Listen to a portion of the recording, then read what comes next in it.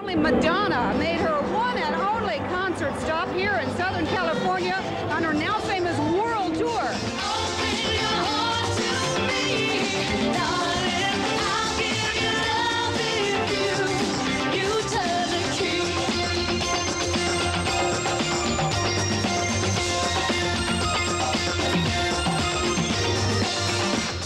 65,000 people filled Anaheim Stadium to see Madonna.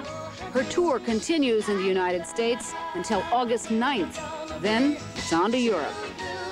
In Southern California, I'm Chantal.